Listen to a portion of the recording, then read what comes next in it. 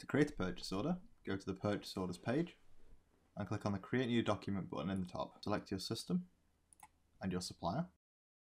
We're going to go with American Vintage. And then select the destination that the stock is going to be received into. Give it a reference. And you can create it from a list if you've created one prior. We're going to go in no list. Give it a description, which is like a name that you give to a product. So I'm going to go with, and you can also give it a due date and a cutoff date. So now we've created our purchase order, we can begin to add products to it.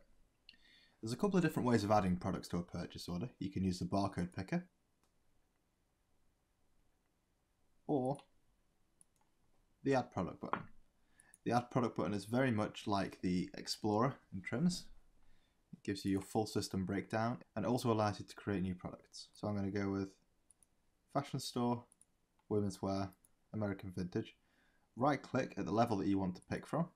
So you can go down and pick at description level. You can even go and pick at variant level.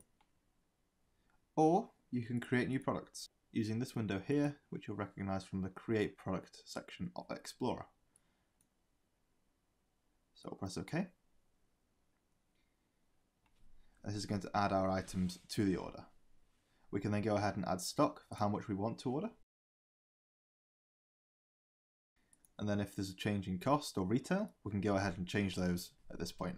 We can then print off our purchase order and send it to the supplier, and once we're happy with everything, we can hit the order button. Once you've pressed the order button, you'll be presented with this screen here. It gives you two options, pending or direct. Pending means that the order has been ordered from the supplier, but you haven't necessarily received it. Direct adds stock straight to the products.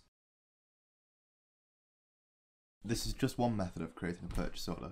You can also create a purchase order using the HHT scanner or using an import template, both of which are out of scope for this current video.